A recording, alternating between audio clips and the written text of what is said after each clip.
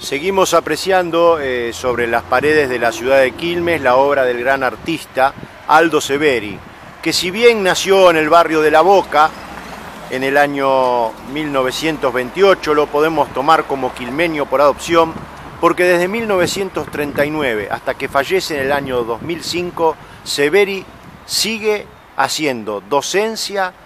y mostrando su arte en la ciudad de Quilmes. Estamos en una de las calles de Quilmes, la calle Paso, donde se sigue poniendo los murales sobre las veredas para que la gente pueda apreciar el arte de Aldo Severi. En este caso, una obra que se denomina Nocturno a Quilmes y que trata temas como la estación, el ferrocarril, la cervecería. Por último, para terminar con la obra a todo color del gran maestro Aldo Severi, vamos a la última que se denomina Tranvía 22,